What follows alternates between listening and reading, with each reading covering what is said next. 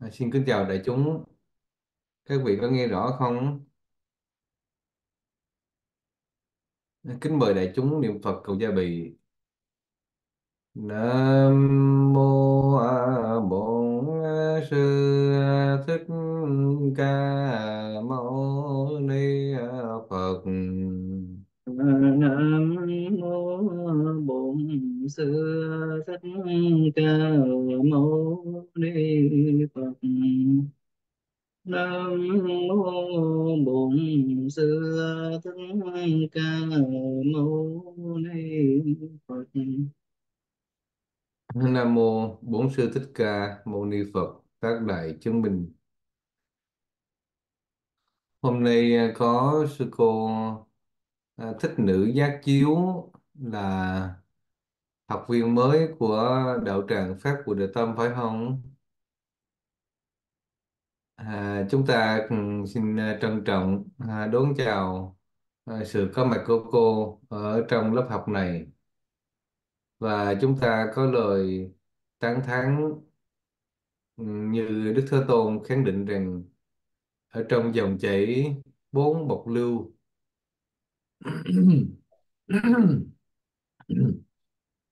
ở trong dòng chảy bốn bộc lưu mà có hữu tình nào ngồi lại trong giây lát à, trong giáo pháp của Như Lai?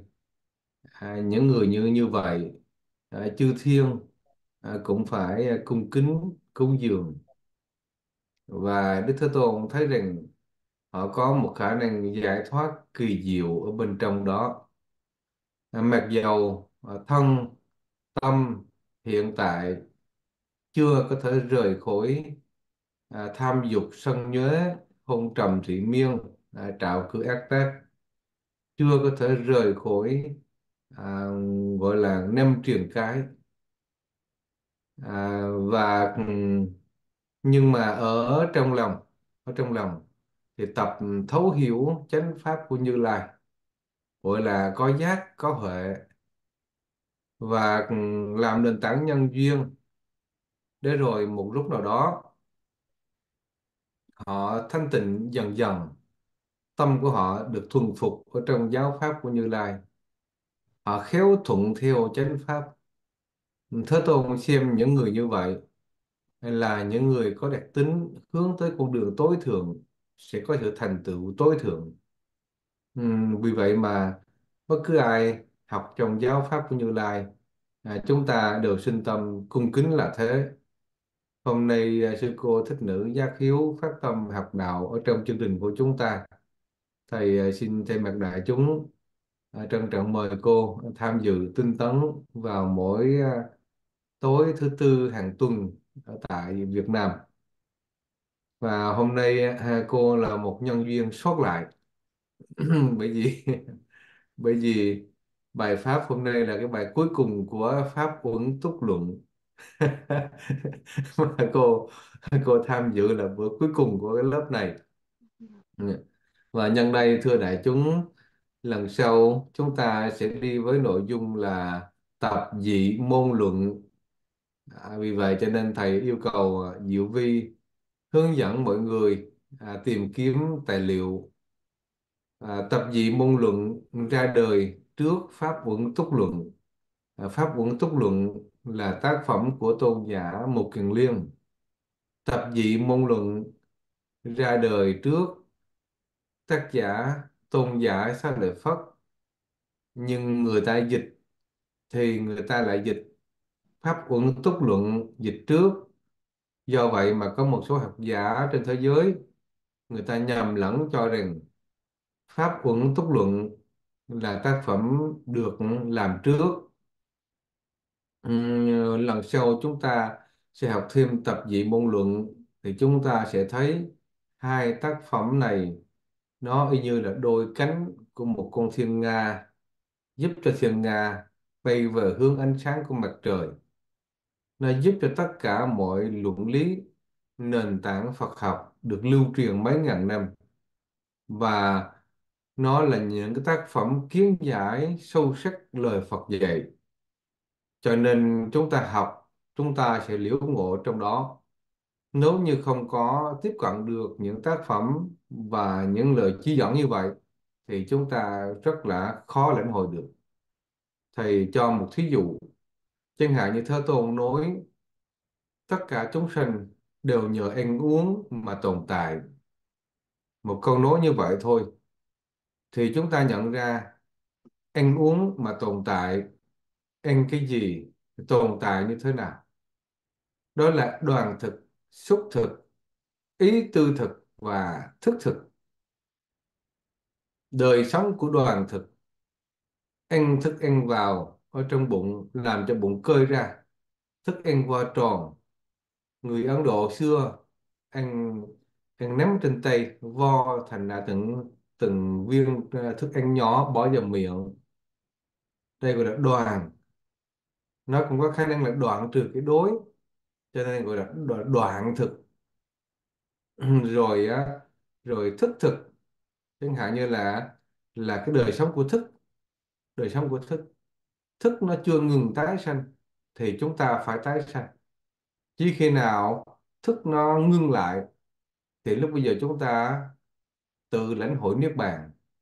Trên đời sống của chúng ta hiện tại là đời sống của thức rồi ý tư thực. Chẳng hạn xúc thực. Ý tư thực là khả năng duy trì mạng sống.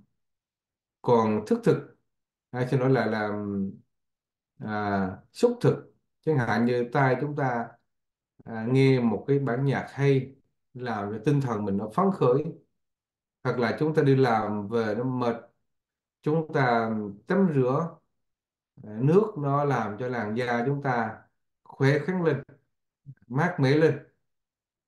Trạng thái xúc đó mặc dù không có thực phẩm vào ở trong bụng nhưng mà nó vẫn làm cho thân thể chúng ta nó thoải mái và khỏe lên. Ừ, như vậy thì chúng ta thấy rằng bốn loại thức, thức ăn như vậy giúp cho tất cả hữu tình ở trong thế gian này tồn tại. À, và nó đặc tính nó tồn tại như thế nào? À, cái yếu tố mà lời dạy bốn loại thức ăn đó như thế nào? Chúng ta soi chiếu nó với hết thể là 46 câu hỏi. Chúng ta có đặt ra nổi 46 câu hỏi à, về bốn loại thức ăn giúp cho hữu tình tồn tại hay không? Ừ, khi mà Đức Phật nói rằng á, tất cả chúng sinh đều nhờ ăn uống mà tồn tại.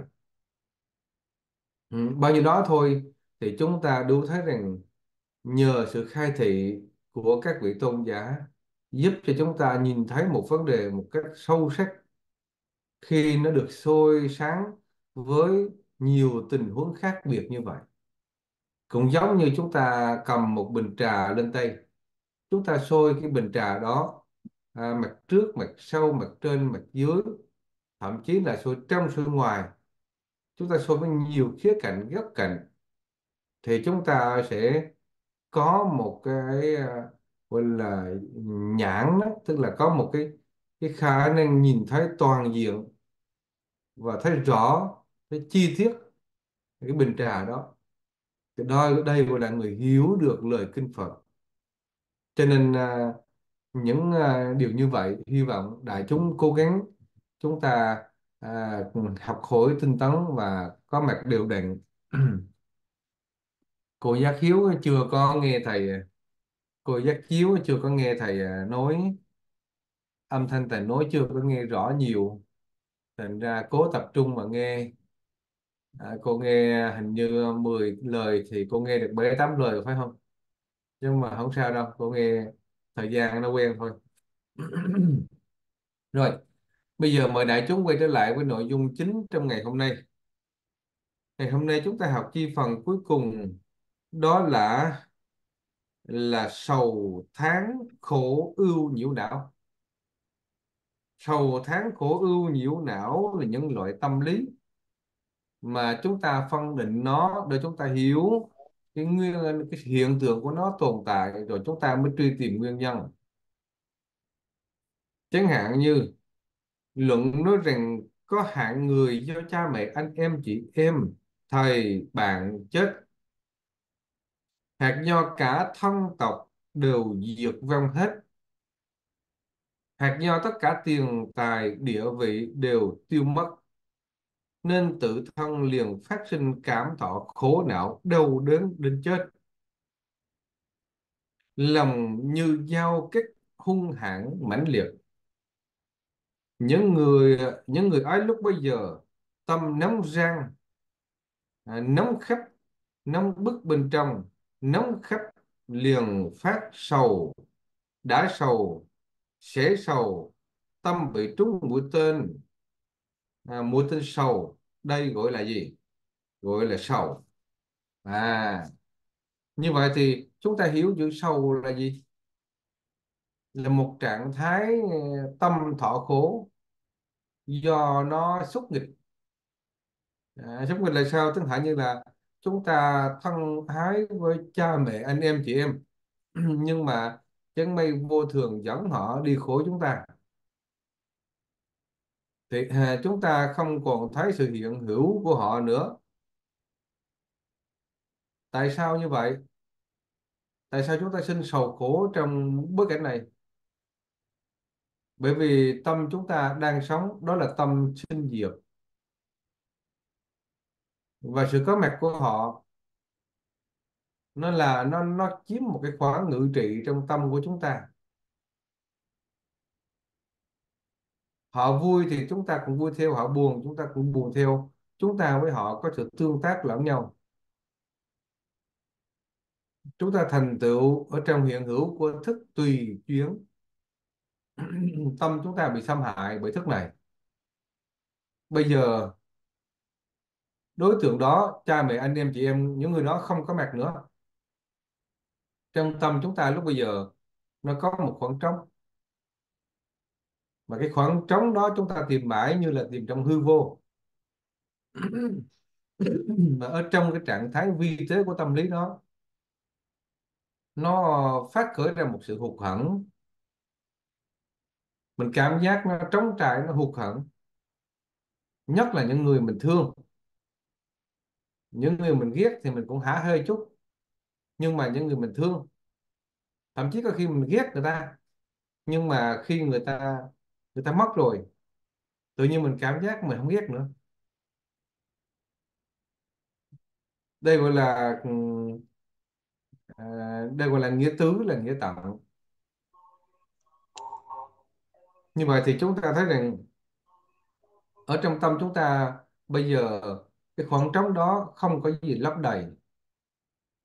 Cho nên nó tạo ra một sự hụt hẫng. Và cái sự hụt hẫng này đây gọi là tâm xúc nghịch tức là xúc với những điều trái với với với mong muốn. À, cho nên bắt đầu là trạng thái thọ khổ nó xuất hiện. Mà lòng chúng ta thì quen sống với thọ hí. Thọ hí không? Thọ hí tức là cái gì cũng thích vui hết á đi chùa cũng thích vui. Đi chùa mà không phải rằng là đi học đạo mà đi thích vui. Ông thầy nào giảng hay giảng cho mình nghe lọt tai à, cho nó vui thì mình lại thích. Còn ông thầy nào giảng cái đạo lý cho mình thấy đường mình thấy nó chán không muốn nghe.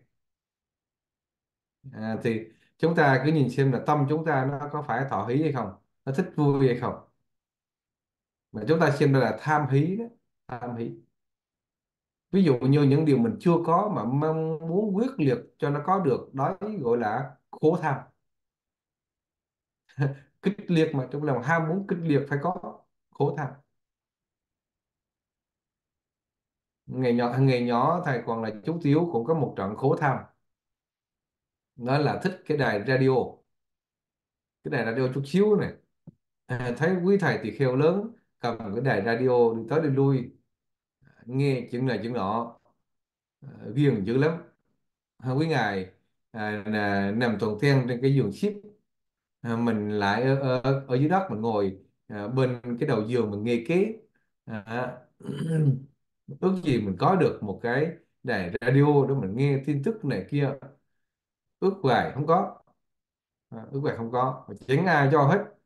Cho nên trong lòng nó nó nó nó khô nó gọi là khổ tham. Nó khổ tham tức là nó mong muốn kịch liệt gọi là khổ tham. À. thì cái những cái trạng thái như vậy chúng ta không hiếu à, khi chúng ta không hiếu thì chúng ta lại tự than thân trách phận. Chúng ta nghĩ rằng là tại sao cuộc đời mình khổ thế này? À, chỉ có cái đài radio thôi mà tìm cũng không ra. À, cũng không làm sao có được. Chúng ta hiểu cái khổ tham nó chi phối. Chúng ta ước mơ một hoàn cảnh diễn ra theo ý muốn của mình. Ở đây có mấy Phật tử cộng có, có mấy người đệ tử nói rằng thưa thầy tại sao thầy nói như thế? Thầy nói như thế là con sẽ buồn. Thầy nói như thế là người đó sẽ buồn. À, thầy mới nói rằng á là rõ ràng các vị đến đây là dạy dạy thầy chứ không phải học ở thầy. Cho nên là muốn thầy phải nói thế này muốn thầy phải nói thế kia theo cái ý của mình chứ không phải học với thầy. Nghĩa là chọn sai chỗ rồi con ơi. Con chọn sai chỗ rồi. Con con phải mở ra một cái ngôi chùa, rồi con mời tăng đi tới làm học trò của con. Con đây con con đi học đạo. Con nói như vậy là con nói động ngược rồi. Thành ra là, tại sao? Bởi vì cái cái xúc nghịch đấy cái xúc nghịch tâm nó khổ. Nó khổ cho nên không có muốn nghe. Không muốn nghe mà muốn cái vị thầy ai đó nói cái lời theo cái sở thích của mình, đây gọi là hí tham. À, không có mong muốn cho có được, đây gọi là dục tham. Có được mà không vừa ý, chúng ta gọi là bất hỷ túc. Bất hỷ túc tức là không thỏa mãn, không thỏa mãn. Ngày xưa thầy học ờ, à, ở tu viện Nhân Thiều thầy vô tu viện Nhân Thiều thì thầy là lớp là hạng là hạng sang. Tại sao? Bởi vì quần áo thầy à, không có bộ đồ nào là bị rách. Có mấy anh em mà khổ mặc cái áo rách à, áo nào cũng vá hai ba chỗ. Và thầy chỉ được cái áo cũng được ừ, được áo áo lành. Nhưng mà tại sao? Tại các bạn biết thầy được áo lành không? thầy sao? Vì thầy có hai bộ thôi. Thành ra thành ra cái nào rách thì thì bỏ thôi. Còn á là mình cứ hai bộ à. à hai bộ cứ tắm à, một bộ thì giặt phơi khô là bữa sau tắm nữa không có công ship đồ, phiền phức. Nha. mùa mưa thì được hai, được thêm một bộ nữa cho nó khô không kịp. À, khi nó khô nó khô không kịp, đem vô bếp mà chiên chiên chỗ à, quên huynh nấu ăn mình sấy chút xíu cho nó khô. rồi rồi. Mình đứng mình châm lửa phụ chút xíu là cũng vui vẻ. À, cho nên bớt bớt đi một thứ phiền phức. Bớt thọ dụng một điều tức là cái điều đó nó bớt làm phiền phức cho mình. Tức là mình sống không có lệ thuộc cho nó nhiều. Đời sống chúng ta lệ thuộc vô nhà cửa lệ thuộc vô phương tiện lệ thuộc vô ăn uống lệ thuộc vào nhiều thứ. Và cái niềm hí tham của chúng ta nó có mặt chỉ khi nào những phương tiện đó nó đầy đủ dồi dào. Nhưng mà tham vô đấy sao đầy đủ được? Cho nên nó cứ đòi hỏi mãi. Do vậy mà mình giống như là con trâu bị nó xó mũi dẫn đi. Trong khi Phật chế định cho chúng ta ba y bình bát à, một tọa cụ để lọc nước, tài sản của người xuất gia chỉ có vậy thôi chúng ta chẳng có chùa chiền, chúng ta chẳng có chẳng có chức danh gì cả. Còn chúng ta trú trì chẳng là chúng gọi là phát nguyện phụng sự, phát nguyện dẫn dắt, chứ không phải trụ trì trở thành bà chú chùa. Thuận với ta thì sống, không thuận với ta thì phải chết. Cho nên nó là là nó nó nó trái với giáo pháp. Dạ. Không phải như vậy. Nhưng mà ai mà nghe lời người nhiếp chúng thì tức là cũng đang thuận theo chánh pháp. Vì vậy cho nên người nhiếp chúng phải cẩn thận khi mình tuyên bố bất cứ cái gì. À, liệu cái đó nó có chánh pháp không? Nó có câu kinh không? À, có có có kinh điển nữa mà miêu tả hay không? Thì lúc đó chúng ta mới quyết định. Còn nếu không chúng ta nên có một lời khuyên mang cái tính là là là pháp lữ đồng tu thôi. À, như vậy là được. Thì người nhiếp chúng cũng ráng học giáo pháp. Mà cái người ở trong đó thì nghe lời cũng là thuận theo giáo pháp. Chứ không phải nghe lời là chúng ta bị ờ, nghe lời một tự ngã à, có cái quyền ra lệnh mình đâu. À, cho nên tinh thần dạy cũng như tinh thần học ở trong Phật đạo mang tính vô ngã là vậy thành ra bây giờ chúng ta thấy ờ, ở trong trường hợp mà thức tùy chuyển chúng ta nó mất đi một cái gì đó thì chúng ta khổ đau. Khổ đau nó phát lên lời sầu tháng ngày xưa ở tu viện Nhân Thiều anh em quân đại học có hai ông thầy hình như một ông ở Bình Định với một ông ở Đà Nẵng. À, ông hai ông. À, ông ở Đà Nẵng thì suối Phật tử à, cúng cúng dường cho một cái chiếc áo áo mà mặc áo dài mặc vô nó súng xính súng xính gọi là áo siêu á. À, ở trong à, trong trong trong chùa có một vị giáo thọ mặc như vậy đứng dậy thì cái vị học trò học tăng này thấy ngưỡng mộ cái áo đó. À, pháp thì không có nghe không ghi nhớ mà nhớ cái áo rất kỹ. À, thì à, thì bắt đầu là là dành dụm tiền bạc để mua cái áo. À, mua cái áo vừa thì có một số anh em quân đội cũng ngưỡng mộ ngưỡng mộ. Thì thưa các chị lúc đó thầy thấy thầy không hiểu tại sao người ta đi tu nữa. Ừ, không biết người ta tu làm gì. Ừ. lẽ ra mấy người đó thì cũng nên cho họ lên trên sân khấu rồi họ đi hát á. Thì quần này áo nọ nó tốt hơn. Quả thật là họ đi cúng cúng kính họ dành dụm mua được cái áo. Ai ai ngờ đâu khi họ lên lễ Phật họ trân trọng họ thắp nhang cúng Phật. Họ thắp nhang cúng Phật họ đưa cái tay áo bất cẩn họ ra thì cái cái nhang ấy, nó cháy lỗ. Trời ơi họ buồn bao nhiêu ba ngày trời. Đi, đi đi cúng Phật mà cái áo nó cháy một lỗ mà phước không có Phật không chịu gia hộ. Phật không không theo làm cái người hầu để mà viết áo cho họ đưa áo họ cháy. Cho nên Phật không chịu gia hộ gì cả thành ra họ buồn ba ngày cho nên bắt đầu họ đi đâu họ sâu tháng cái đó. Ngày xưa thầy ở trong, trong chúng cũng vậy. Tối giảng kinh cho Phật tử ở trên mạng internet giảng 2 giờ đồng hồ cho người ta hối một giờ đồng hồ. Mỗi lần giảng là như vậy. Và vào giảng kinh thì giảng kinh. Giảng xong rồi là rời khỏi hội chúng không có nấn ná cầu xin cúng dường là quen biết với ai hết. Cho nên nhiều người có khi ở Mỹ ở châu Âu họ muốn cúng dường mà họ không có không có liên lạc được họ cũng có điều kiện. Ừ. họ hối mình họ cúng dường mà họ cũng không kịp hối. À, sinh hoạt nghiêm túc như vậy rồi à, viết nhiều cái tư liệu hay viết nhiều cái tư liệu hay. À, chẳng hạn như là sự hiện sinh của một dòng tư tưởng. Rồi à, à, phân tâm học và tình yêu. Tức là cái trạng thái tâm lý à, ái nhiễm hay là tình thương hay là lòng từ bi bác ái nó hoạt động ở dưới cái dòng suy nghĩ của con người như thế nào? Thầy miêu tả một cái thế giới ở phía dưới cái tầng của suy nghĩ. Và nó hoạt động như thế nào để nó chi phối cái nhân cách của người đó. Nó dẫn tới uh, tác động tới cái quyết định hành động của người đó. Đấy cho nên là là một cái cái ờ, một cái tiểu luận rất là hay.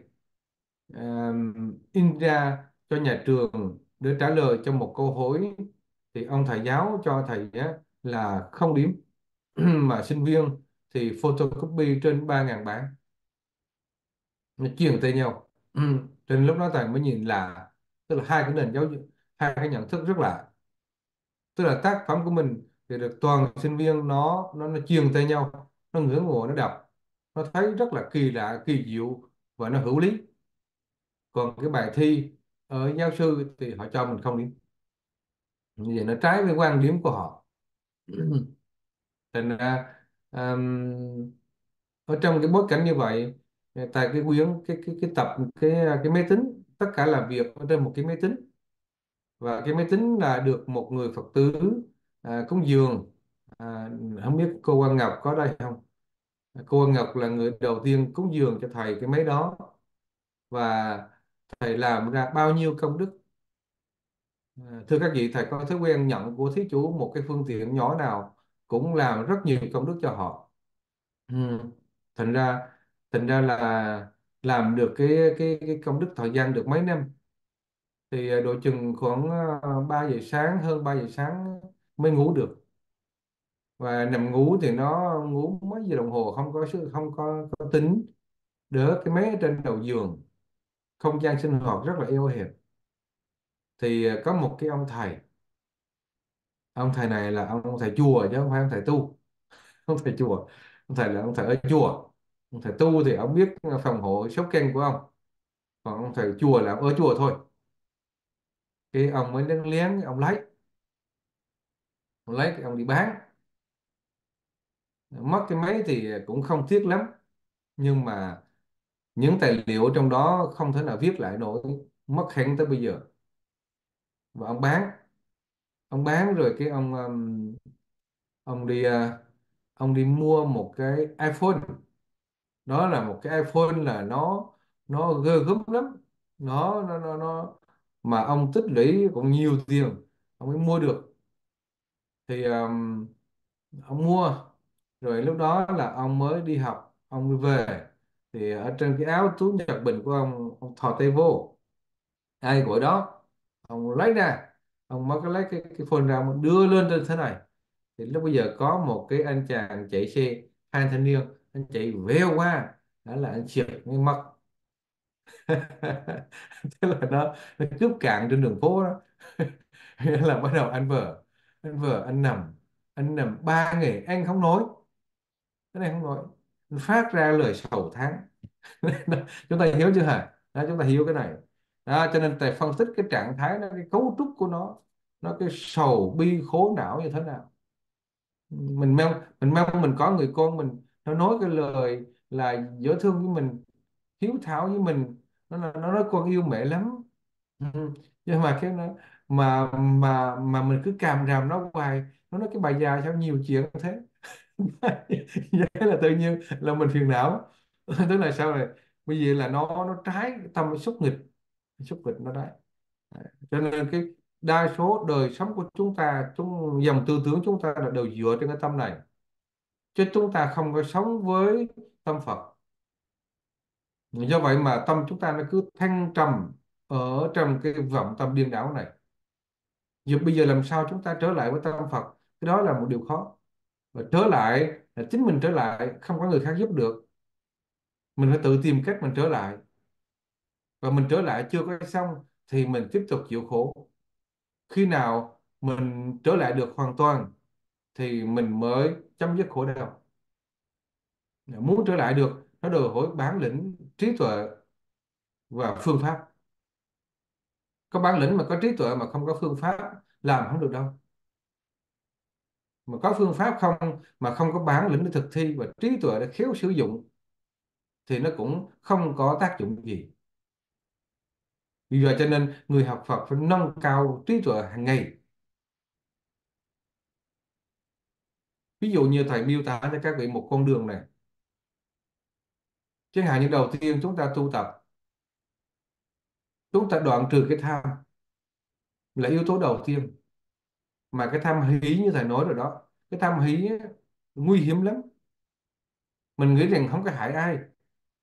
Nhưng mà nó thường hay lôi kéo mình, biến duyên với những cái tình huống phiền não. Tại, à, một cái cô nhưng một cô ni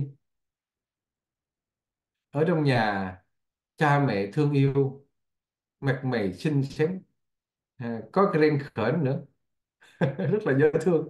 Đi đi xuất gia tránh triệu thuận theo thầy tổ cho nên được à, thầy cưng cái gì cũng cưng nhưng mà nữ hình như nó nó nó nó tật đố nhỏ nhen hơn nam nha.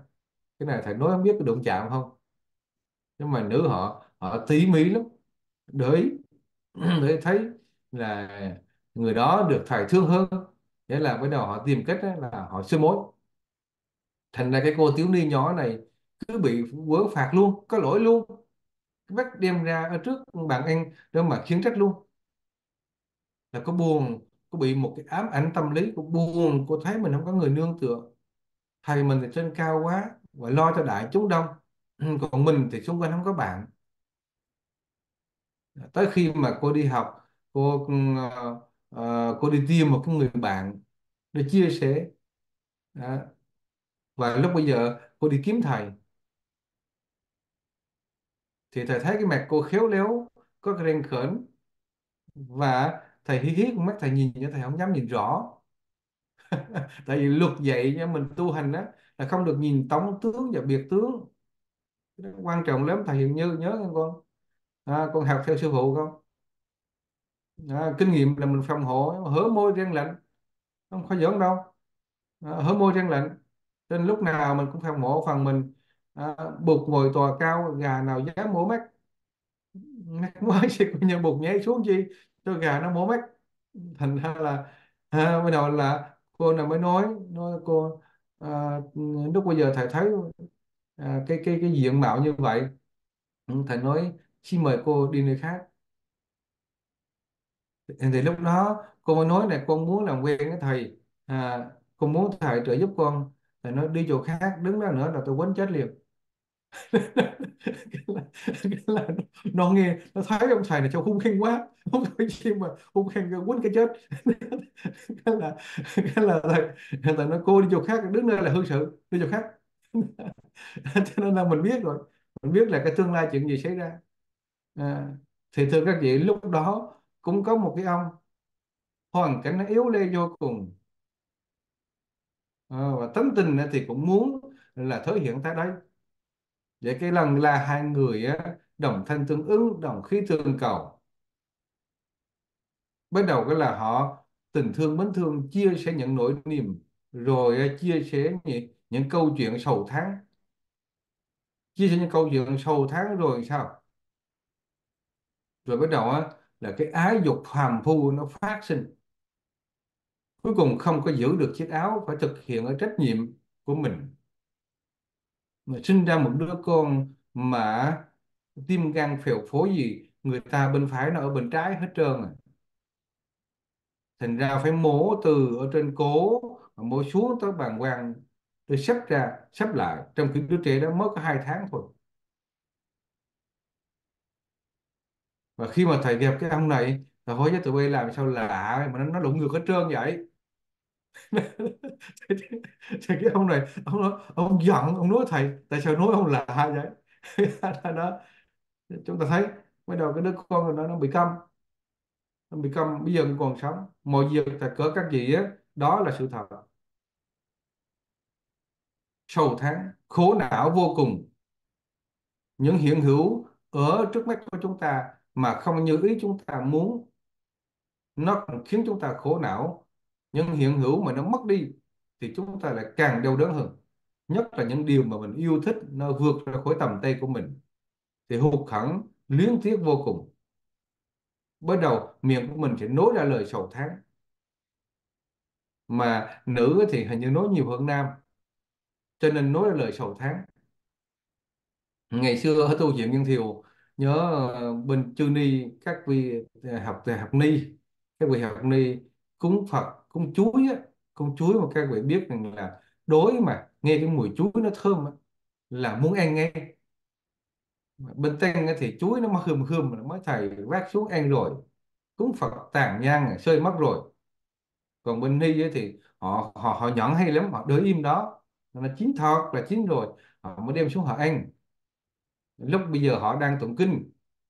À, mà thầy đi ngang qua chánh điện thầy thấy cái này chuối nó thơm quá. À, thầy nói mô Phật Phật thông cảm cho con. À, thầy đi thầy đi ngang vô thầy vác này chuối thầy đi.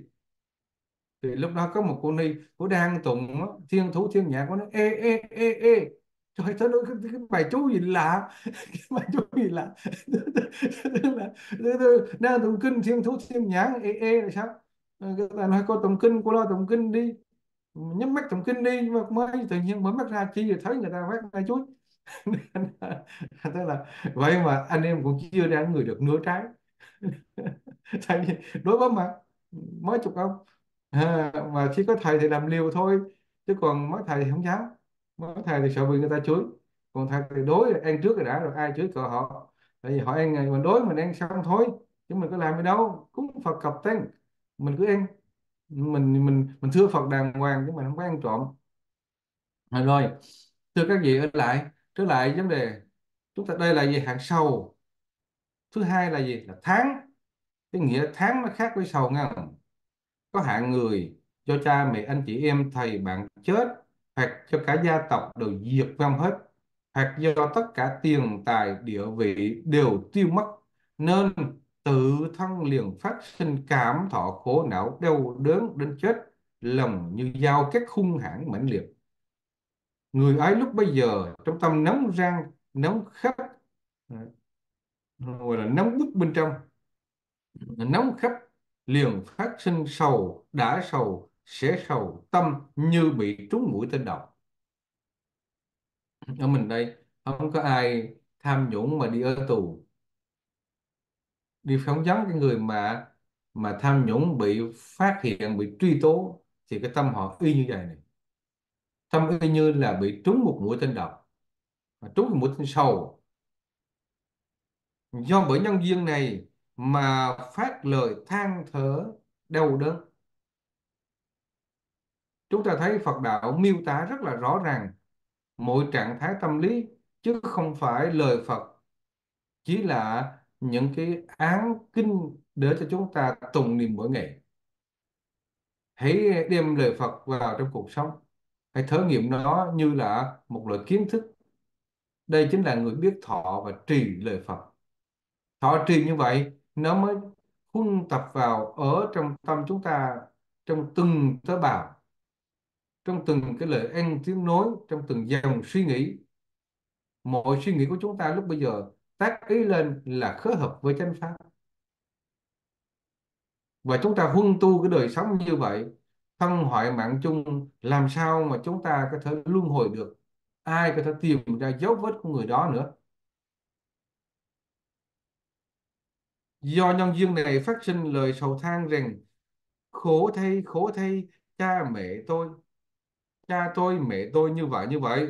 Tiền của của tôi, địa vị của tôi, sao trong chốc lát như thế này? Của quan quyền cướp đoạt của vua, vua của vua coi như là ra lệnh xung công. À, rồi ờ, của gì nữa? Của của nhà cháy của lửa cháy của nước lụt ờ, cuốn trôi à, của động đất nó hủy hoại của chiến tranh tàn phá của để dẹp tàn phá. Chúng ta nhìn thấy những trận chiến chỗ này chỗ nọ nhà cửa nguy nga tráng lệ ở trong đó họ từng sở hữu khốc liệt trong đó. Nhưng mà qua một một trận chiến càng quét, bao nhiêu cái thành phố, với rất nhiều tiền của công sức xây dựng lên, đổ vỡ tan tành. Nhân mạng thì tán thấp cho nên chúng ta nhìn thấy thế gian thế gian nói là cái tai họa nó như vậy. Chiến tranh cũng là nghiệp của cộng đồng. Tại sao tôn vinh một người, để cuối cùng người đó ra lệnh chiến tranh? Tất cả nó đều có lý do. Tại tại sao phải trợ duyên cho một cái thế chế chính trị để rồi chính cái thế chế đó làm cho mình khổ đau? Ở chỗ nào cũng có đau khổ hết. Ở Việt Nam chúng ta thì cái thể chế nó tương tác với người dân, có phần đó là nó nó thô kệch. Ở Mỹ nhá nó vi tế hơn các vị, nó vi tế hơn nhưng mà đừng cho rằng á, là nó là thánh.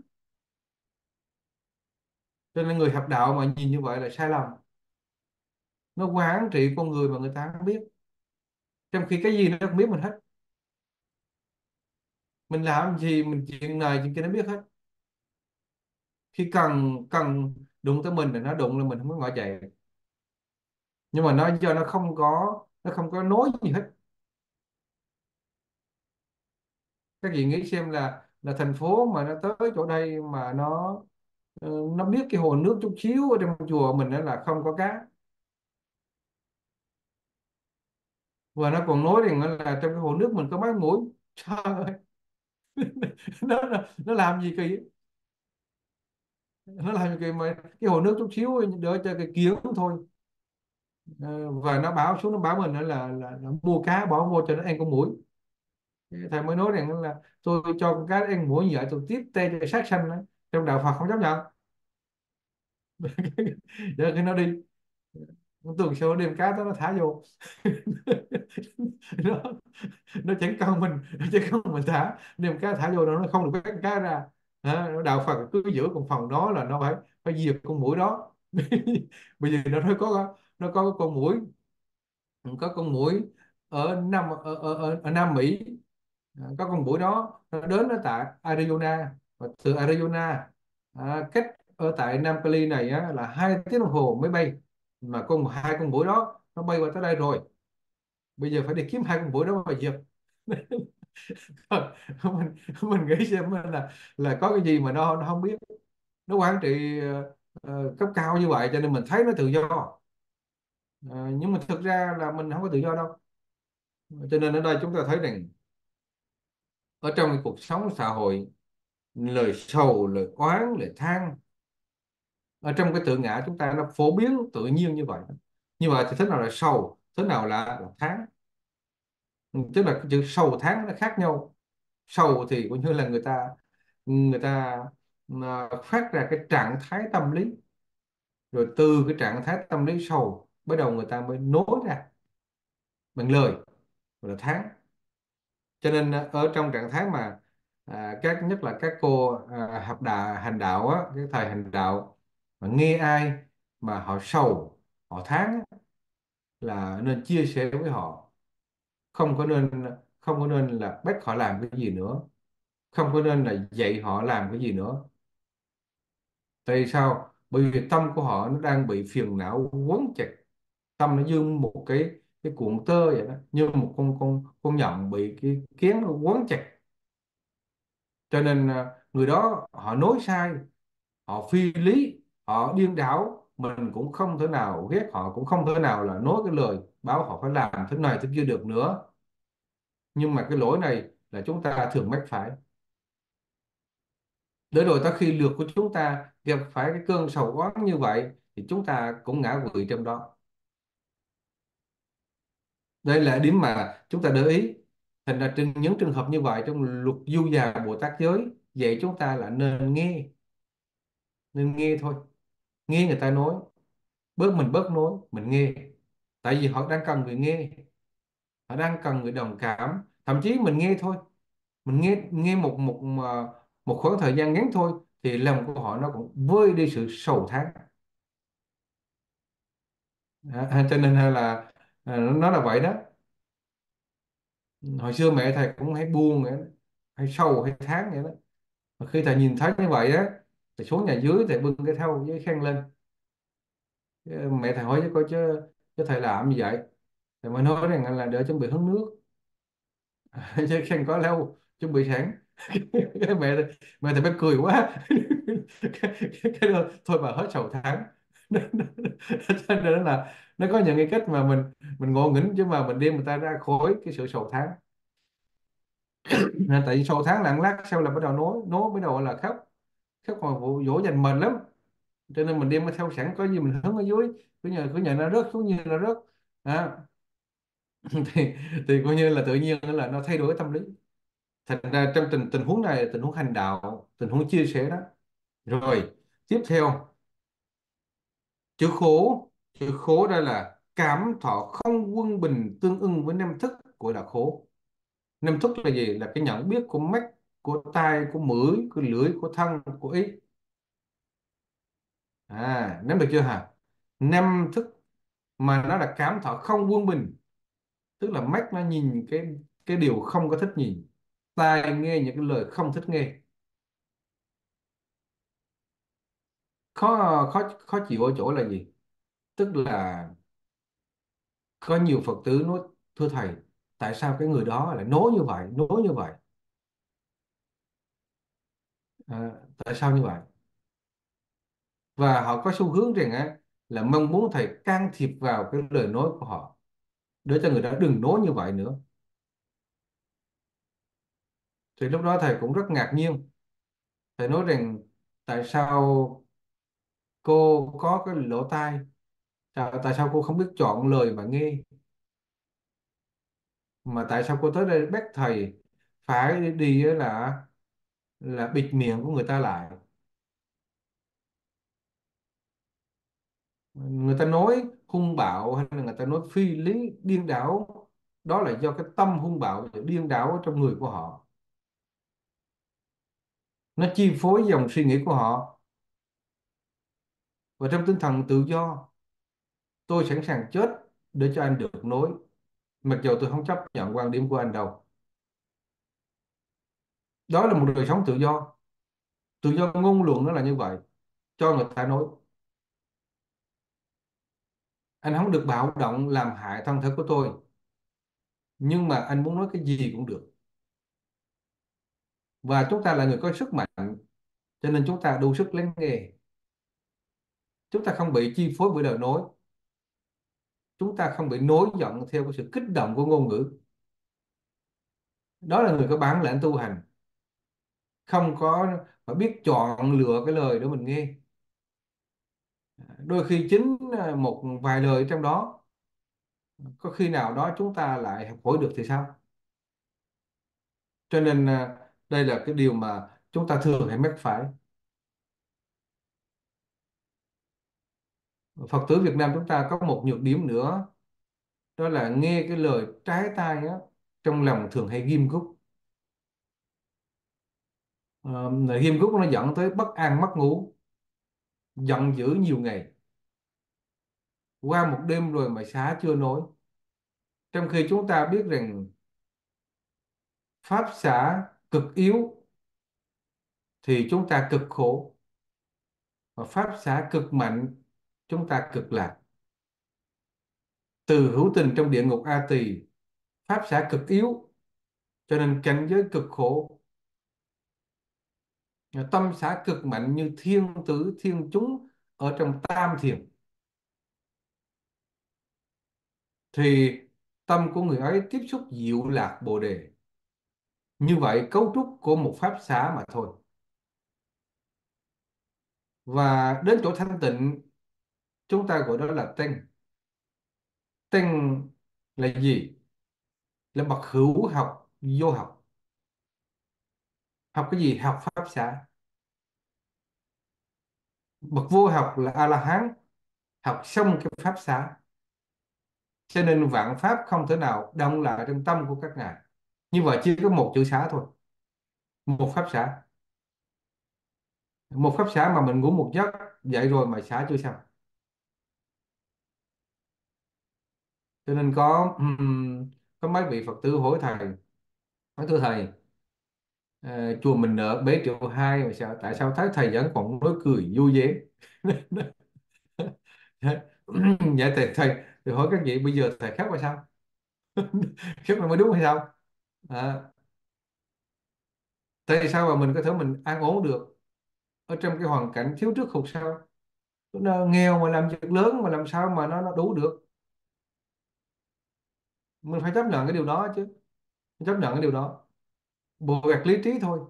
Nhưng mà để nói được như vậy và đến chỗ an ổn như vậy thì nó phải có pháp xã thanh từ pháp xã cho nên à, từng việc từng việc việc đó phải xử lý như vậy, việc kia phải xử lý như vậy.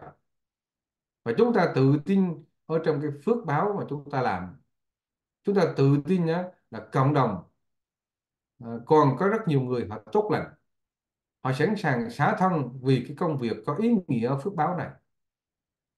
Và chúng ta không bao giờ đơn độc trước tất cả những cái công việc đem đến lợi lạc lớn lao cho đại chúng. Không sợ cái đó. Cái gì mà cho cá nhân mình á, thì mình ngán thật. Nhưng mà cho đại chúng là không sợ gì cả. Không sợ tới mức mà ở Mỹ đây ai cũng nói rằng là thầy Quỳnh Châu đại là cộng sản cấp cao. Được cái hậu thuẫn của nhà nước. Hậu thuẫn của nhà nước cho nên nó là sợ gì tiền bạc dồi dào sợ gì họ thấy mình không sợ họ nghĩ như vậy. Tại vì họ đều sợ mà sợ mà muốn không sợ phải có chỗ dựa. À, nhưng mà ai ngờ đâu cái chỗ dựa của thầy là cái cái, cái, cái thành ghế sau lưng đây. Cho nên cho nên chúng ta thấy là là là nó, nó cái pháp xã cái pháp xã tập cái pháp xã và người ta Phật tử hỏi thầy ta nói cái pháp xã hôm nay thầy cũng hướng dẫn các vị như vậy. Cái pháp xã là mình có hạnh phúc. Tại sao mình lại giận hờn trước một câu nói, một thái độ? Hay là thậm chí mình cũng nghi ngờ rằng là người ta chơi xỏ, chơi xấu mình?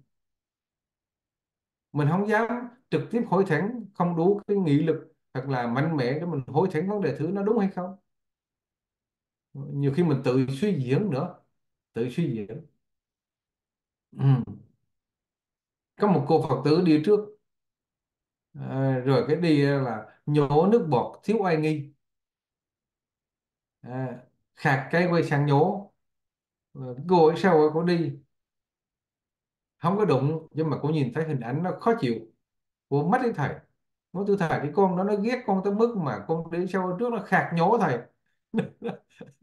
Trời ơi, y như nước đi chùa đó. Y như đi chùa mét thầy đúng thứ hết thầy ngạc nhiên thầy nói vậy là người ta khạc được cho người ta nhổ hay sao? Cô cô còn thầy nói cái gì? Ờ, nói rồi cái là là sau này thầy mới dặn cái cô kia cái khạc nhổ là đới cô nhìn trước nhìn sau. Và Phật dạy mình là phải cúi đầu xuống cái đất cách à, cách mặt đất là 4 cm đừng có nhổ cao nó nó nó bay sang chỗ khác không được nhổ đừng có khô. À, xin lỗi có, có, có tươi. À, hay là chỗ nước sạch. Mà nên nhổ chỗ nào? Nó dơ hoặc là có đất mình mình, mình lấp lên. Đó là cái cử chỉ trong oai nghi của lời Phật dạy. À, nên thọ trì điều đó để bớt cái chuyện kia. Ừ. nhiều khi người ta suy diễn. Cái cô này nói người gì mà lạ kỳ hay suy diễn? Con đâu có biết cô đi sau lưng đâu. Mà tự nhiên người gán ghép con như vậy. Thì được rồi người ta không biết. Nhưng mà phần cô đừng tạo cơ hội cho người ta hiểu nhầm. Ừ đứng ở dưới cái gốc ờ, cái gốc cây mận thì đừng có đội mũ. Người ta không biết rằng là mình mình hái trái gì bỏ trong mũ đó. Cho nên là mình mình phải như vậy. Nhưng mà không nghe, ngày sau á, cái cái cô kia để mà tu. Tức là bà kia đã ghét sẵn rồi. Không phải là trong chùa lửa cháy thôi. Ờ, mà thầy trụ trì, mà cô trụ trì sư bà trụ trì mà không có dập tắt được. Nghĩa đây có sư bà thấy thương vô cùng.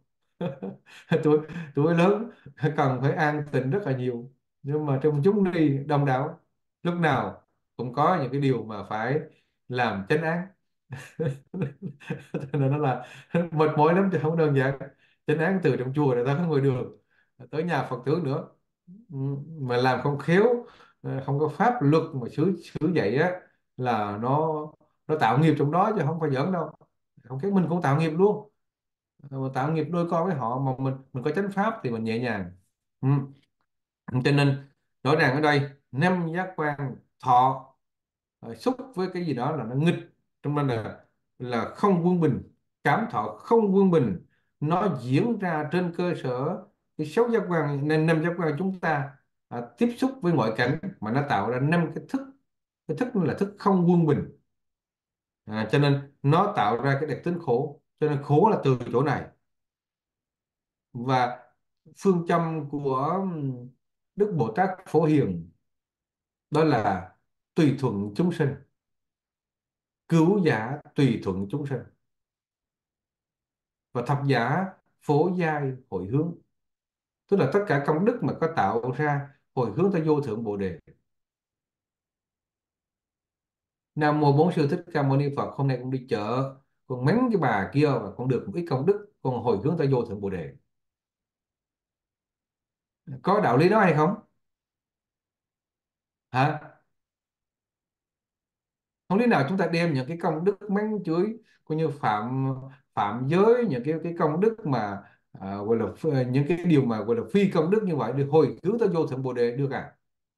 Trong khi vô thượng bồ đề là một cảnh giới tối thượng thanh tịnh, thì làm sao nó có thể dung chứa những cái những cái ác nghiệp đó, những cái phi pháp phi luật đó? Vì vậy cho nên để hồi hướng thì chúng ta chọn chính cái công phu trước. Đó là lễ kính chư Phật. Nhóc dạ lễ kính chư Phật. Nhị dạ xưng tán Như Lai. Lễ kính chư Phật trong tâm chúng ta mỗi ngày lễ kính lúc nào xung quanh chúng ta cũng là Phật. Thậm chí người nhìn thấy một cái người um, phàm phu lầm lỗi đang tập tu thôi chúng ta cũng thấy được cái Phật tâm ở trong người của họ. Bởi vì người đó có khả năng giác ngộ kỳ diệu mà Đức Như Lai nói rằng nghiệp chúng sanh bất khả tư nghị. Không ai có thể là thấu hiểu được được một cách trọn vẹn chỉ có Đức Như Lai mới phân biệt hết cái căn tính hạ liệt của hữu tình. Chúng ta, thọ trì chúng ta hiếu như vậy, cho nên à, chúng ta cung kính xung quanh. À, mà một câu nhịn chín câu lành, mình cung kính người ta, thì à, dần dà người ta phải trân trọng mình. Mình sổ sàng với họ, thì ban đầu họ nhìn nhưng mà sau đó họ không có nữa đâu cho nên là những đạo lý như vậy là chúng ta à, thọ trì. Nhất giả lễ kính chư Phật nhị giả xưng tán Như Lai mà. Rồi chúng ta đem những công đức tiếp theo nữa ta chín công đức hồi hướng ta vô thượng Bồ Đề. Thì thì với cái trạng thái đó làm sao chúng ta khổ. Mà riêng nguyện là tùy thuận chúng sanh đó, nó giúp chúng ta bớt khổ. Tại sao? Bởi vì nó, nó cái thức của chúng ta nó không có có, có xung đột. Nó bớt xung đột. Ừ. nó vậy đó. Ừ, nó bớt xung đột. Có những chúng sinh ờ, uh, năm thức xung đột với ngoại cảnh cho nên nó thọ khổ. Và ờ, thầy ngồi trong cái hè chùa nhìn ra thấy nó đi lên đi xuống. Thấy rất đáng thương xót. Với bên trong là một bộ xương. Ờ, quấn lên đó những gân cơ rồi nào là ruột rà rồi mang trong đó một bình phân và một ờ, là một cái bình nước tiểu ha, rồi coi như là đi qua đi lại đi qua đi lại trong cửa chùa và nói cái lời sầu tháng nguyền rủa. Nhìn thấy tội nghiệp trong khi vạn vật vô thường tứ đại nó suy kiệt và tới chỗ diệt vong. Diệt vong rồi chẳng biết mình đi đâu vào đâu. Nhưng mà mình lại không có chịu lo lấy như vậy thì những người như vậy mình nhìn ở khía cạnh đó, mình thấy rất đáng thương. Không có gì hết. Và mình có được chút an lạc tự tại. Đó là nhờ sự trí dạy của Phật. Mình nghĩ như vậy mình thấy là cái cảm thọ cho nên đặc tính Đức, Đức Thế Tôn khai thị chúng ta là yếu lý là pháp yếu là cái cái gốc là cái chỗ là cái môi trường mình sinh ra nó. Mà chúng ta muốn thành tựu hạnh phúc mà chúng ta không nhìn thấy chỗ này không biến mạng biến tri tức là chúng ta bị vô minh nó phủ lấp ở trong đó. Tức là không thấy đường không thấy rõ. Mà không thấy thì làm sao mà điều phục? Không thấy mà làm sao mà chuyển hóa? Cho nên chúng ta thấy không? Cảm thọ không quân bình tương ưng với năm thức. Đây gọi là khổ. Rồi cảm thọ không quân bình tương ưng với ý thức gọi là ưu. À, cho nên khổ nó khác ưu nó khác. Phân biệt ừ, ý thức phải không? Ý thức là tức là hiện giờ cái việc nó không còn nữa. Chúng ta không còn ở trong môi trường đó nữa. Việc đó đã qua rồi. Nhưng mà trong lòng chúng ta nó cứ ưu não khi nghĩ tới cái việc đó thì ý thức ấy, là cái môi trường khiến cho chúng ta tiếp cận cái à, gọi là cái, cái sự ưu. Đó. cho nên chữ sầu chữ tháng chữ khổ chữ ưu nó khác nhau. Mỗi trạng thái và mỗi cái môi trường hoạt động. Rồi nhiễu não là các sự nhiễu não của tâm. Đã nhiễu não sẽ nhiễu não. Tính chất não loạn đồng loại khốn khổ gọi là nhiễu não chữ nhiễu não này là trạng thái mơ loạn, não loạn, nhiễu loạn, nhiễu não. Nó nằm một cái trạng thái mà não loạn của tâm, tức là tâm không yên. Cái tâm nó bị xáo trộn. Nó nó bức bách, không biết đi đâu, vợ đâu, tính như thế nào. Ừ. được chưa hả? Như vậy thì ở đây chúng ta đã hiểu được là sầu tháng khổ ưu nhiễu não, năm đặc tính rồi và tất cả năm cái đặc tính đó chúng ta đang sống ở trong hàng ngày mang thân bốn đại ngũ uẩn với hình hài như thế này. Thì chúng ta sẽ thấy rằng trong đó là tập khởi khối lớn thuần khổ. À, cho nên chúng ta phân tích tới đó thì chúng ta thấy mình có có chỗ nào mà an lạc có chỗ nào mà hạnh phúc. An lạc và hạnh phúc nó mong manh thôi nó mong manh thôi. Nó thoáng qua. Và chúng ta cứ ngỡ rằng á là chúng ta có hạnh phúc nhưng thực ra nó chỉ có một chút khí tham mà thôi. Như vậy thì bao giờ chúng ta mới chấm dứt nó đây?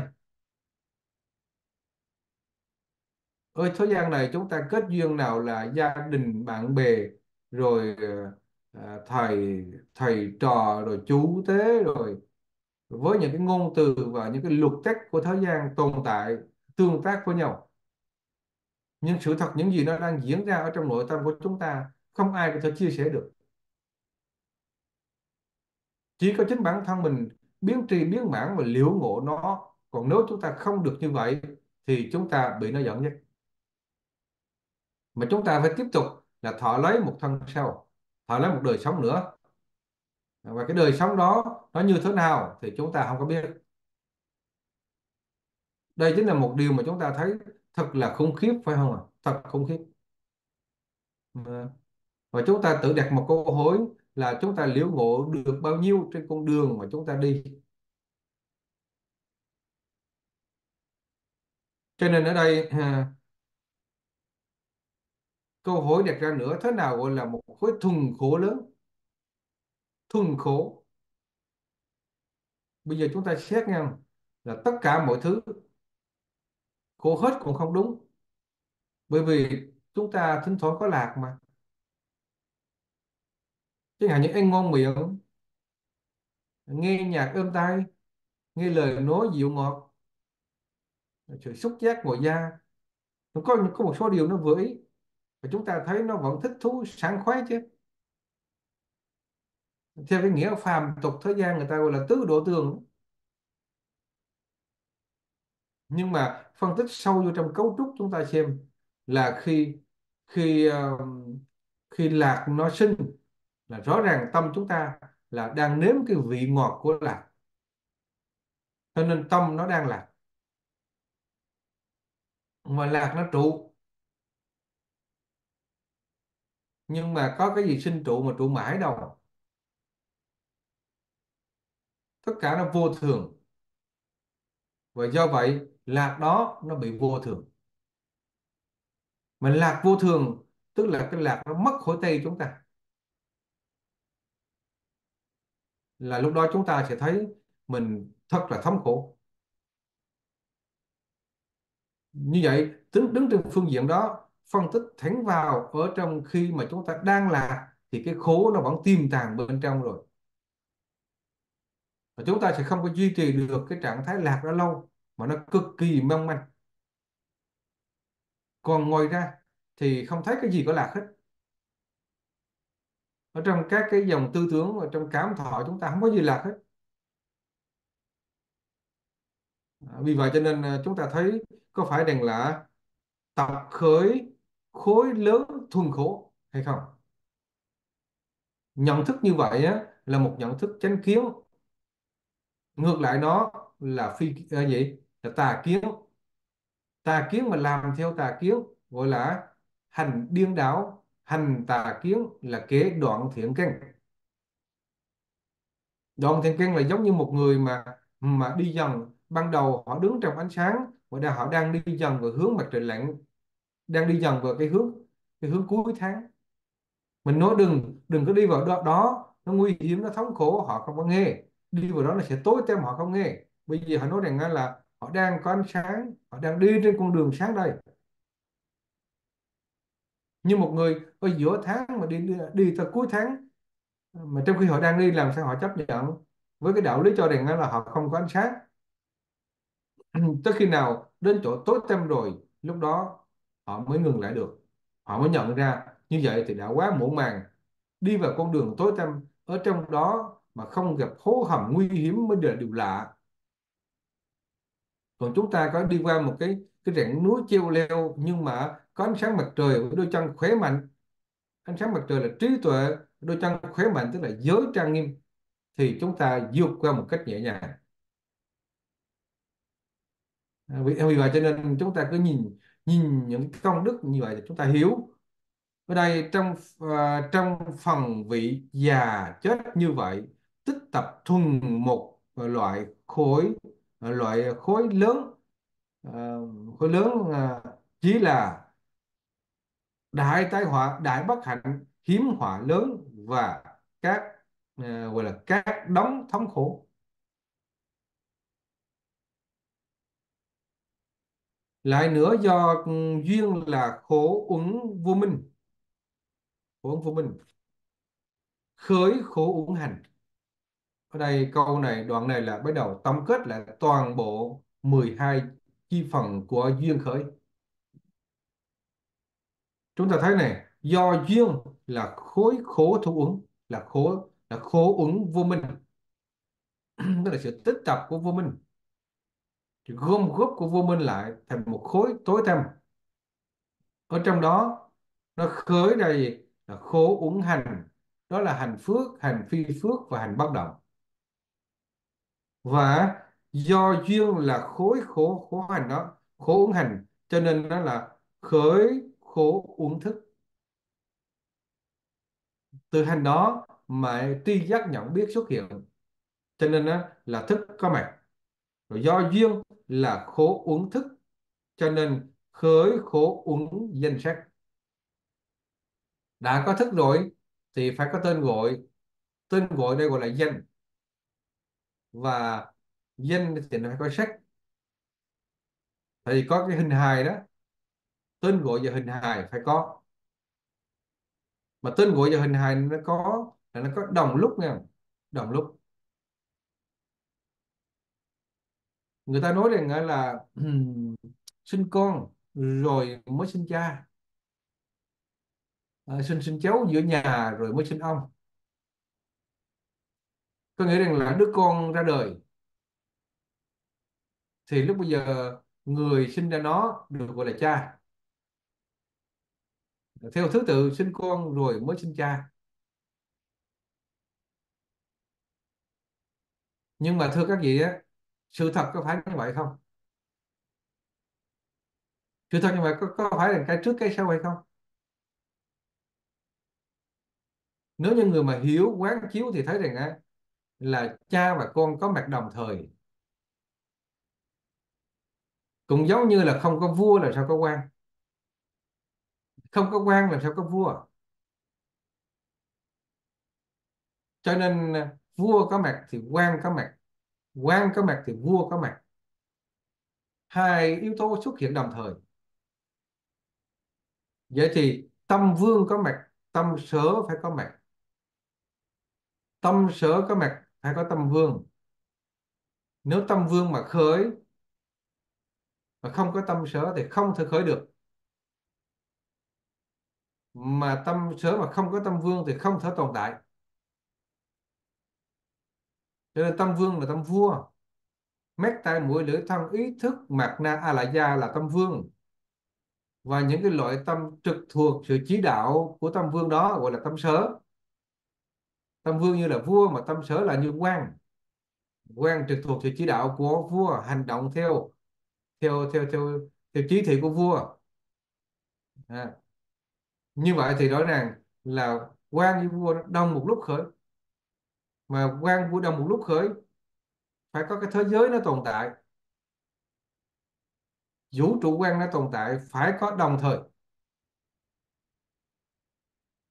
Nếu như không có thì nó chỗ nào tồn tại? Mà có vũ trụ quan tồn tại thì phải có thời gian tính tồn tại. Cho nên con người, dạng vật, không gian và thời gian đồng sinh.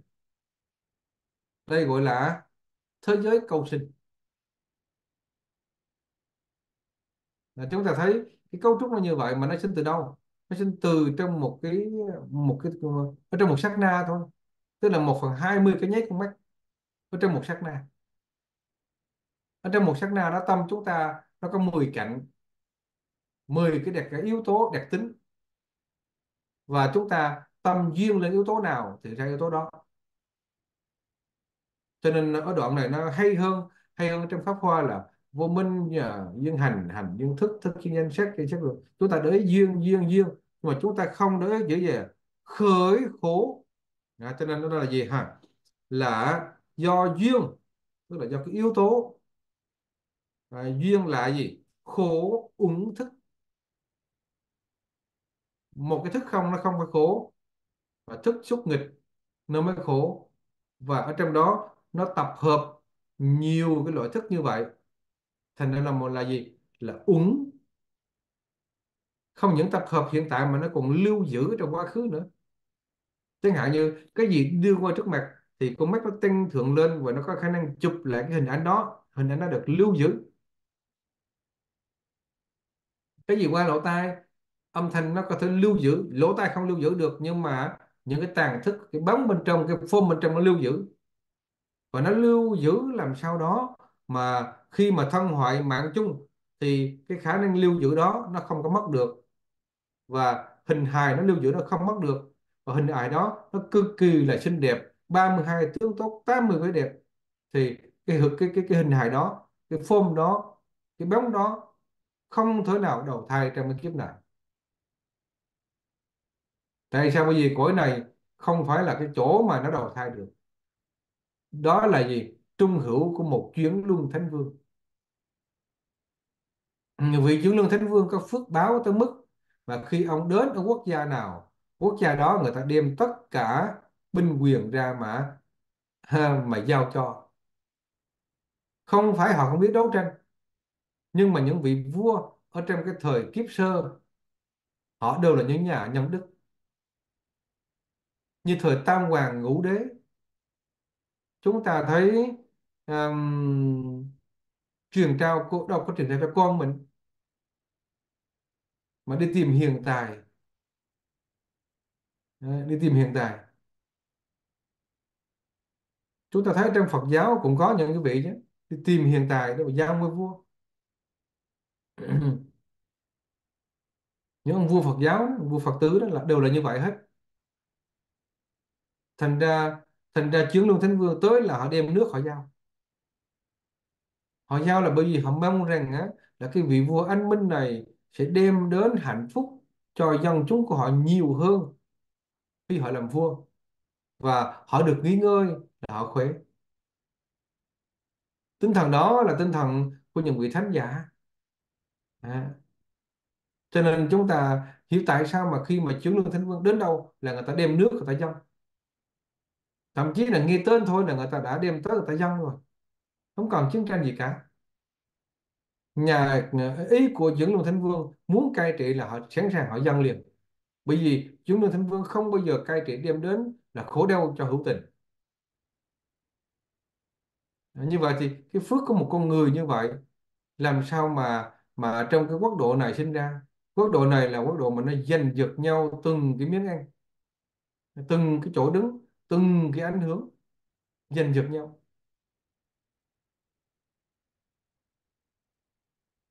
Ừ, tất cả nó đều bị một cái quy định đó là gì đó? Là cái tiêu chuẩn nào đó mà tiêu chuẩn được quy ra tiền rõ ràng tiền nó sai khiến. Hôm trước thầy đi qua bên mấy sai tôi xét hình như à, nó hơi mệt sau đó không có ai đó mới cho thầy ở đi đâu đó đi à, bên bên bên bên bên, bên Massachusetts đúng rồi. À, mấy Phật tử cho thầy cái vế thương gia cái thương gia. Mà nó khác nha đi lên là lên là nó chào nó đón rồi nó đưa mình đi rồi đó. nó nó trọng giọng mình lắm. Mà thầy nhìn thấy rõ ràng cái đám chúng sanh này là nó bị tiền say nó. Nó thấy cái gì cần làm nó không có nó không có nghĩ tới mà nó thấy tiền sai nó là nó lịch sự gì tiền. Nó không có tiền là còn lâu.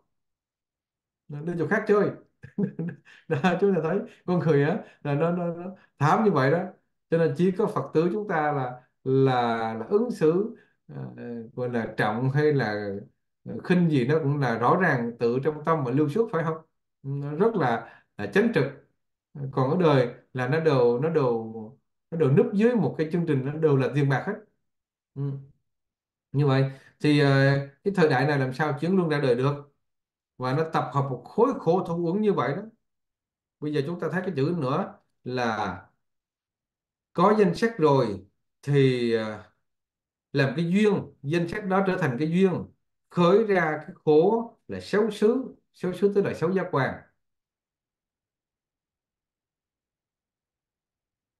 Có xấu xứ rồi thì nó đi tìm kiếm cái môi trường sống của nó. Nó là cửa ngõ tiếp cận mà chúng ta không có dùng giới để mà ngăn chặn ngăn chặn nó để mà hoạch định con đường đi của nó. Cái gì nên nhìn cái gì nên nghe. À, thì ờ, thì nó sẽ khổ thôi ừ, có một cái ông theo chủ nghĩa hoài nghi. Và tin tức giới hạn ở trong cái môi trường chính trị Đông Tây.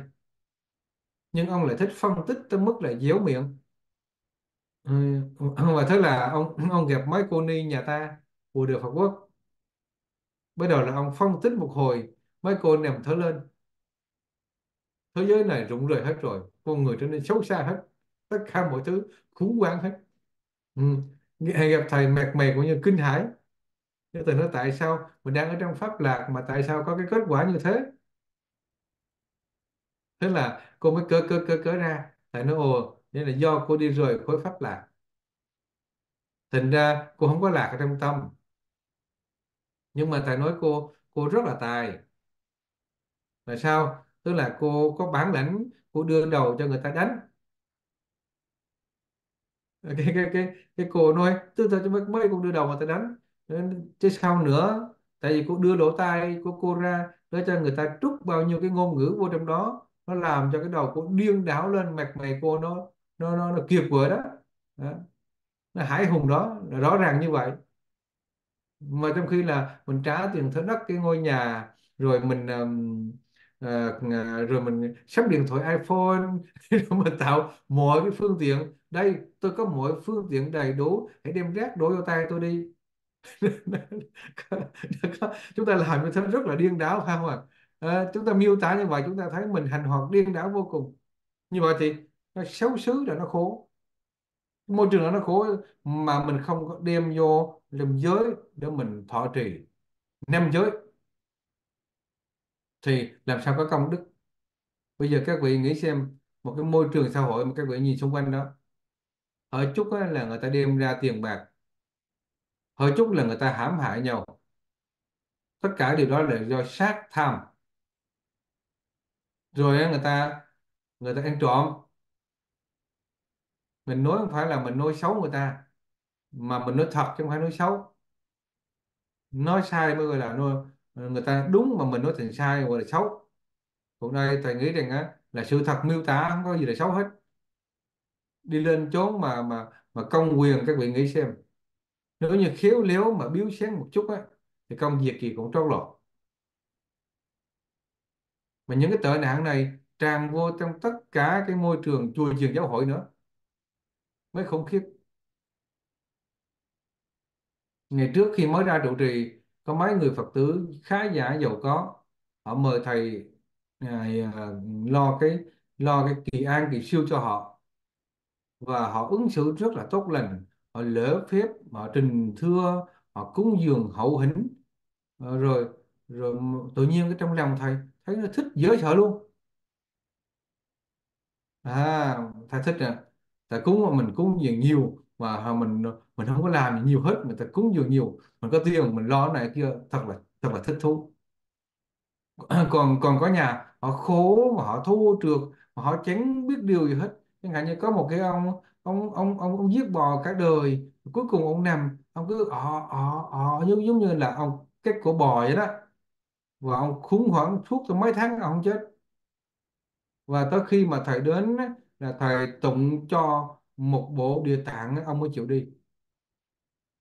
Mà trong nhà các vị xin lỗi là con cái nó ghét thầy nữa nó nhìn thấy rằng nó là nó mớ gì mà mà tới nhà nó tụng kinh người mẹ thì thưa nhờ thầy. Và người mẹ thì cũng như thưa đỡ đấy, rồi đi làm ăn đỡ thầy không có một miếng nước uống. Rồi uống khát nước ờ, dẻo khô miệng, kia kiếm nước không ra, không biết chỗ nào hết. Đi ra sao cũng ngại, sợ mất cái gì người ta đổ thừa mình sao? Mà giờ mà ráng tụng một bộ đi ta không có miếng nước. Đi về nghĩ sao mà cái nhà này lạ chứ, mình không thích chút nào. Ha cho nên là bắt đầu á, là cái tâm nó thiên lệch. Tâm thiên lệch. Và nếu như trong môi trường đó mà thiếu sự phòng hộ, xấu xấu xứ là thế nào? Là mình cũng sẽ sẽ ứng xử nó không có bình đẳng ở trong chánh pháp. Trong khi chúng ta học được Phật pháp, học được những cái nghi thức là để chúng ta bố thí chánh pháp, làm phương tiện dẫn dắt người vào đạo. Mà chúng ta lại dùng tâm tiền bạc và đối xử. Ờ, cung đoán lợi đắc danh vọng cung kính. Tâm mình bị xâm hại. Như vậy thì tâm không có tịnh không tịnh thì làm sao mà hồi hướng? Cho nên sau này có một cái duyên vui lắm. Có một cái ông um, chú có cái người em. À, có ông anh có ông anh mất đi đi cúng sao đang biết rồi đi nghi ngờ đi cầu cầu chỗ xác am. À, am xác người ta à, nhập xác người ta nối lên đồng người ta nối. Và cái ông chú này nó thưa thầy con không bao giờ con tin chuyện này nhưng mà những cái câu chuyện mà mà cái người anh con nói là người đó phải là anh của con thôi chứ không phải là người khác được. Bởi vì những cái chuyện nó riêng tư giữa con với anh con biết cái ngồi ra không ai biết cho nên con xác định cái cái người đó phải là anh của con thôi. Cho nên nên là con tin là nhờ thầy giúp giùm. Nhưng mà nhà người ta thì người ta đã mời những cái vị thầy cúng rồi. Làm sao mình tới người ta nói mình về năm cúng làm sao? Cho nên thầy mới làm một cái cái cái cái um, cái thiếp thỉnh linh. Thầy báo rằng là đợi người ta cúng xong rồi người ta đi hết rồi cầm cái này đứng trước bàn thờ đọc xong rồi đốt. Đốt xong rồi mời ông lên chùa đây và thầy sẽ cúng cho vậy mà cái ngày hai vợ chồng tới chùa cúng á là thấy anh của mình á, đến tại chùa Phước Long và bị ông hộ pháp ngăn cản lại. Ông, ông ta ở sau ở sau cái cái cái túi quần sau rút ra cái à, cái cái, cái điệp thông hành. Nó giống như cái visa rồi đó. Đưa ra ông hộ pháp thái cho vô. Từ đó là hai vợ chồng tin tưởng thầy như thần thánh. Mà thầy thì chẳng thấy gì cả tại sao họ thấy hay mà không biết? Đó nhưng mà họ họ thấy rồi họ nói như vậy đó. Họ nói anh không vô kia thầy. À, bây giờ anh cũng đang quỳ sau lưng đó thầy hai chồng vậy đó. Rất lạ kỳ như vậy đó. Cho nên đó là tại sao sau đó là mọi người cứ cứ mong rằng được thầy đi cúng là tới nhà cắm một cái nhang cũng được. Người ta nói vậy thôi chứ lý mình ta cắm nhang đi về. Cho nên thôi mình từ chối. Để đi hoài đi hoài thì mình không có thành ra là thầy tu nữa mà mình thành thầy cúng hết cô chùa rồi, hết thầy chùa rồi tới thầy cúng là xong. Thì số phận mình coi như là không. Ừ. thành ra, nó thiên lệch từ chỗ này qua chỗ kia xấu giác quan mà không có phòng hộ. Chúng ta, trong cuộc sống cũng vậy á, chúng ta thiếu sự phòng hộ của sáu giác quan. Giống như là mình ở trong một ngôi nhà mà sáu giác quan như sáu cái cửa vậy đó. Cửa lớn, cửa nhỏ, nó, gió nó thổi vô mà mình không có khéo mà đóng lại, cài lưới đừng để cho rác nó vào. Thế nào là chúng ta cũng sẽ khổ đau trong đó. Đó, à, đó là cái cái điều mà chúng ta cố gắng chúng ta chiêm nghiệm. Chứ nếu không là bão tố nó sẽ khởi lên trong lòng chúng ta. Rồi. Xấu xứ ha rồi gì nữa ha? Do duyên à, là khổ của uẩn xứ uẩn xúc. À, cho nên khởi khổ là uẩn thọ xấu xứ thì nó có xúc thôi xúc là có thọ. Ờ, mà thọ thì sao? Sau cái thọ thì nó có gì nữa? Đó là cái thọ nào mà mình thích á cái thọ nào mà mình thấy yêu thích tâm mình nó nó nó, nó thích thú trong đó thì đây gọi là là nó tạo ra cái uẩn ái. Khơi này khơi khố uẩn ái cái tổng hợp của ái. Nhất là hai người mà muốn chia tay á là đừng bao giờ hối thầy mặc dù thầy kiên diện như vậy nhưng cũng có người hối. Đó tại sao? Vì nó là khổ uống ái mà. À, khổ uẩn ái. Em ruột của thầy cũng vậy á là vợ chồng mâu thuẫn kịch liệt thưa thầy giờ con nên chia tay hay là ở thì nó đừng hối thầy. Tại vì hai đứa hẹn hò nhau lúc đó cũng không có hối thầy. Thì bây giờ cũng không có hối thầy. Nói cho vui thôi chứ thật ra không thể nào mà biết được là họ sẽ như thế nào họ sẽ không quyết định nổi. Cho nên nếu như có thể đỡ cho họ một cái quyết định sáng suốt, thì khuyên họ tạm cách ly ra. Cách ly ra một thời gian độ chừng nhanh nhất là phải là bốn tháng. Nhanh nhất là bốn tháng. Thì bắt đầu là họ sẽ có một cái nhìn quân bình về cái việc đó. Rồi bắt đầu là tự nhiên họ sẽ sẽ sẽ, sẽ biết làm cái gì. Mà thành là 4 tháng không được dưới nha. Không được dưới. Cái con số 4 tháng đó là con số số của Phật đó. 4 tháng đó. Là 120 ngày nó đủ vậy đó. Là cái tâm nó sẽ tự có một cái cái à, có một cái cái nhận định quân bình. 4 tháng thì chắc là lẽ không bị chết đâu. Cũng chưa sao đâu. Cho nên cứ im ru như vậy đó 4 tháng là nó sẽ nó sẽ rõ ràng ra. Ừ.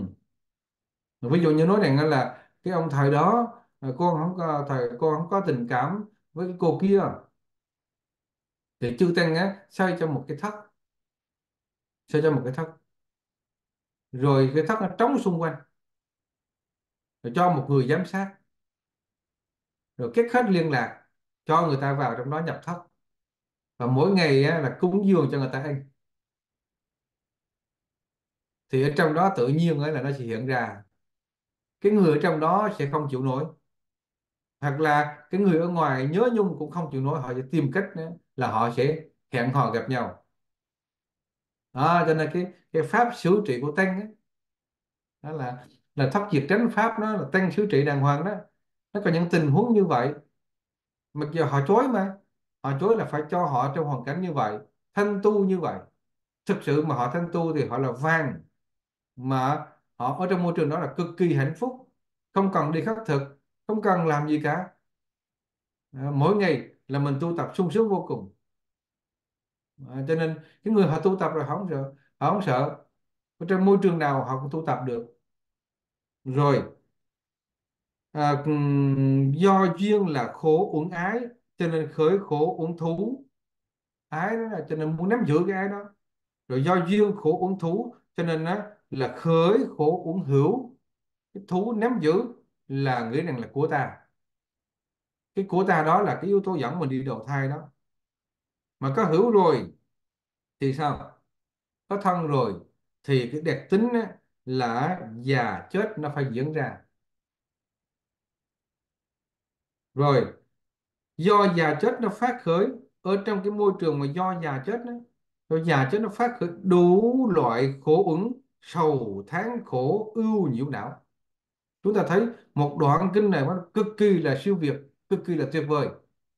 Mà Phật tử phải nên là đỡ ra trước mặt ghi ra cái, cái, cái câu này đỡ cho cái bàn làm việc.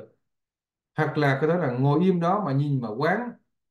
Đây gọi là điểm lập cước của quán pháp. Quán pháp. Ví dụ như chúng ta quán bất tịnh quán hơi thở nó viễn ly tham. Đạt đến chỗ trí của tâm. Rồi đi qua là quán thân thọ tâm pháp. Thì pháp, tức là duyên khởi. Và bắt đầu quán người nó tạo ra cái sức nắm của tâm. Cái sức nắm của chánh chánh đạo. Đây gọi là noãn thiện căn bắt đầu phát sinh. Noãn bốc lên tới đỉnh cao. Gọi là đánh nhưng mà không có nhẫn nối ở trong pháp thì sẽ sụp đổ. Trên cái điểm nhẫn rất là quan trọng mà nhẫn ở mức là tới, tới, tới đỉnh cao của nhẫn. Nhẫn ở trong pháp nghe chứ không phải là nhẫn nhục hay là không phải là nhẫn mà mà mà mà trong người ấm ức đâu. Nhẫn nhẫn trong pháp tức là thuận theo pháp pháp dạy như vậy là mình sống như vậy. Mặc dù mình không muốn như vậy mình vẫn làm như vậy. Chẳng hạn như là mình mình cứ muốn giết hại mình muốn trộm đạo. Nhưng mà bây giờ pháp dạy cho mình là cấm sát hại cấm trộm đạo thì mình có có yêu thích chừng nào nữa mình cũng phải là từ bỏ. Và từ bỏ là phải nhẫn chịu đó chứ không mình nhẫn không nhẫn nó không chịu nổi. Rồi tới gì nữa hả? À, rồi cuối cùng là thế đệ nhất. Tức là cái nhẫn lên tới đỉnh cao thế gian không ai bằng đó là cái con đường đó là đạo lộ duy nhất mà tất cả các pháp môn đều diễn đạt trên nền tảng đó, trên sự thành tựu đó, và đưa một hữu tình lầm lỗi ở trong thế gian này đến cái chỗ là giác ngộ siêu việt. Thì 12 duyên khởi này, chúng ta thấy vì đâu mà sinh ra là sầu tháng ưu là nhiễu não. Nó một khối khổ ứng như vậy. Đây gọi là là gì hả? Là khởi khối thuần khối lớn thuần khổ chư Phật mười phương đều à, thông đạt duyên khởi.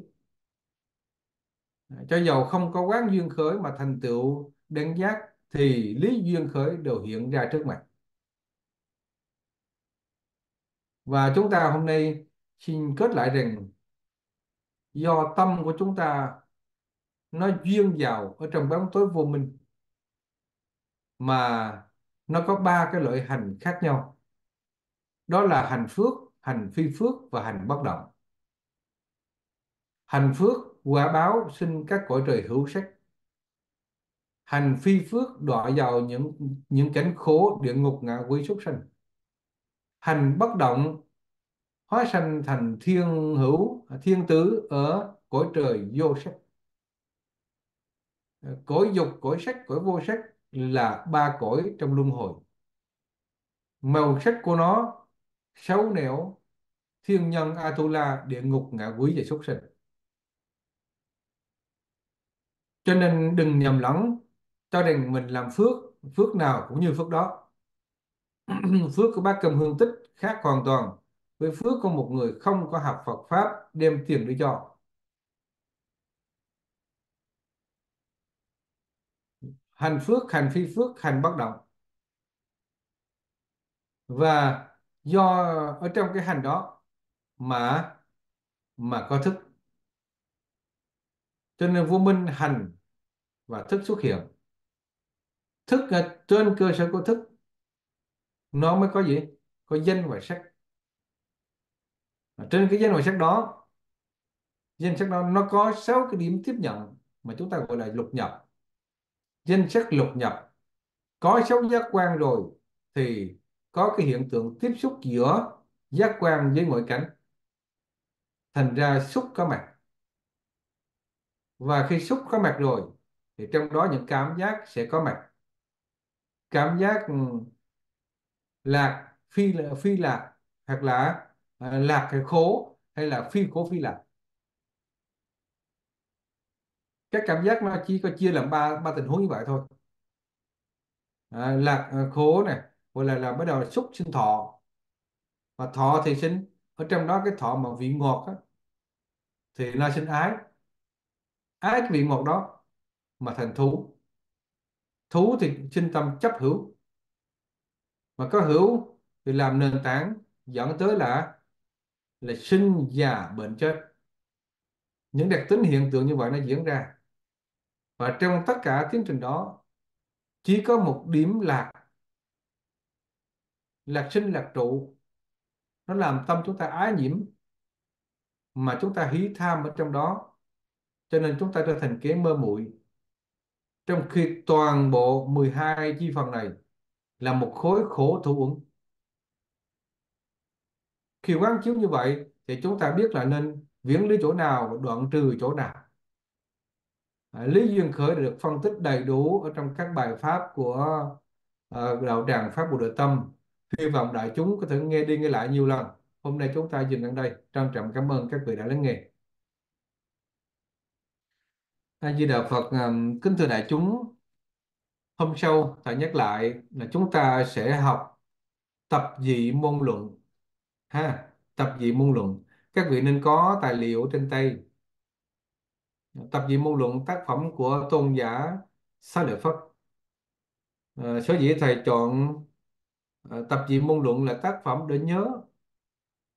Pháp uẩn thúc luận là tác phẩm để hiểu và thầy ờ, chọn pháp uẩn túc dạy trước là bởi vì mong các vị hiếu. Rồi lúc bây giờ chúng ta sẽ nhớ. Chứ lúc còn nhỏ thì chúng ta nhớ trước rồi hiếu sau nhưng đại chúng đều là những người trưởng thành. Thành ra phải hiếu hiếu nó là cái gì, rồi mình sẽ tập nhớ nó.